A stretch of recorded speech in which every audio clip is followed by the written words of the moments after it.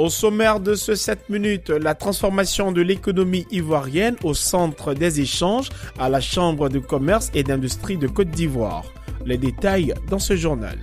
L'autonomisation économique des femmes au centre d'un atelier à Abidjan. En initiant une telle activité, ONU Femmes encourage la productivité dans le secteur privé. La nomination de Begré Mombé à la tête du gouvernement suscite la joie et l'allégresse dans son village. Le constat dans ce journal avec notre reporter Samson Oula. Voici pour le sommaire, bienvenue à toutes et à tous. Des explications et des échéances. Mercredi 18 octobre 2023, les hommes et femmes du secteur de l'économie se sont donné rendez-vous à la Chambre de commerce de Côte d'Ivoire. Leurs échanges ont porté sur la place de l'innovation dans l'accélération de la transformation de l'économie du pays. Ils ont touché du doigt les questions liées au développement de la propriété intellectuelle et le renforcement des industries locales. Ces experts nous racontent comment la Côte d'Ivoire pourrait renforcer la transformation de son économie. Le développement des grands pôles économiques régionaux a été inscrit par le gouvernement dans la stratégie nationale d'industrialisation. Au niveau régional, il faut également relever que l'avènement de la zone de libre-échange continentale, la ZLECAF, va ouvrir à terme des perspectives d'accroissement des échanges commerciaux internationaux. Nous remarquons que l'économie de la Côte d'Ivoire, initialement dominée par l'agriculture, est aujourd'hui dominée par les services. Les services et la part de l'industrie dans l'économie aussi entre 20 et 30% donc actuellement autour de 30% ce qui est insuffisant en termes de dynamisme.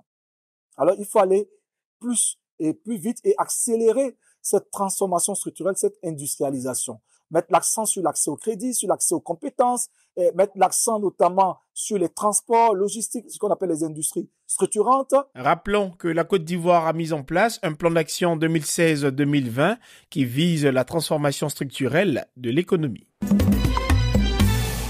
Une salle bondée de personnalités, surtout de femmes, à ce rendez-vous organisé par ONU Femmes, on assiste à un cocktail d'opportunités des femmes entrepreneurs. Euh, notre rencontre à ce jour euh, au niveau de la Confédération générale des entreprises est une rencontre organisée par ONU Femmes et le secteur privé pour permettre aux femmes entrepreneurs de savoir qu'elles ont une priorité pour le secteur euh, privé en Côte d'Ivoire et surtout au niveau de l'ONU Femmes et la Confédération générale des, entreprises de Côte d'Ivoire, faire en sorte qu'elles puissent être écoutées. Un séminaire qui intervient dans le cadre du projet d'autonomisation économique des femmes grâce à l'accès des femmes à la commande publique et aux chaînes d'approvisionnement en Afrique de l'Ouest. On est dans un séminaire pour euh, discuter sur les opportunités des femmes entrepreneurs pour avoir accès au marché, au marché public et au marché privé. C'est un événement organisé avec les patronats ivoiriens et ça fait partie du projet pour l'autonomisation économique des femmes à travers de l'accès à la commande publique et privée qui est financé par la Banque africaine de développement à travers l'initiative Wi-Fi pour euh, la promotion de l'entrepreneuriat féminin. Des panels sont organisés pour encourager les femmes à être plus productives dans le secteur privé. Mais le principe relatif à la santé, la sécurité et le bien-être du personnel féminin à l'intérieur des entreprises nous paraît très important.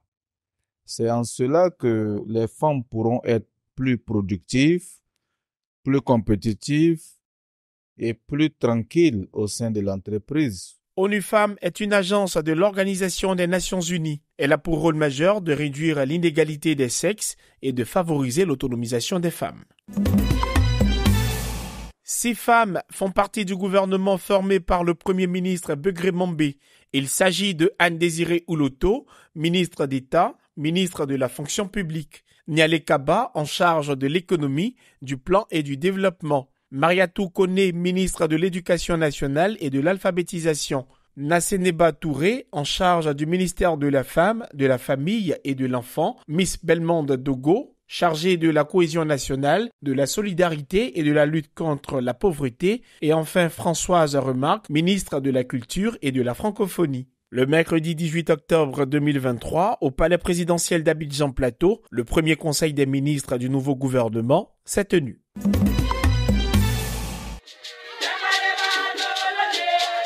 Joie et allégresse à Abiaté dans la commune de Songon. Le village natal du nouveau Premier ministre est en ébullition depuis la nomination d'un des leurs. Dès l'entrée de qu'on a pris la nouvelle. Oh, faut imaginer un peu la suite. À l'église, dans la rue, même dans les bananières, on a crié, sauté, dansé. En tout cas, tout ce qu'on pouvait faire. On a rendu gloire au Seigneur pour tout ce qu'il m'avait à faire là. Ça, c'est petit échantillon d'abord. On attendait même. On nous a dit qu'il allait venir. On attendait. On a porté trois pagnes. On dit année 50. On a porté année 50, on allait s'échanger. On dit Mambé vient. La pluie nous chicote. Soleil nous frappe. Mambé vient. On est resté jusqu'à minuit. Il n'est pas venu. Donc on attend. Quand on a pris la nouvelle, c'est moi d'abord m'ont appelé. Je suis sorti en tant que président des femmes. J'ai crié, les femmes sont sorties, les hommes sont sortis. Même les, élèves aussi étaient sortis, on criait de joie, on était, en tout cas, on était joyeux, joyeux. Les habitants d'Abiaté ont exprimé leur gratitude au président de la République pour avoir élevé un membre de la communauté Hatchan à la plus haute fonction gouvernementale. Pasteur, bonjour.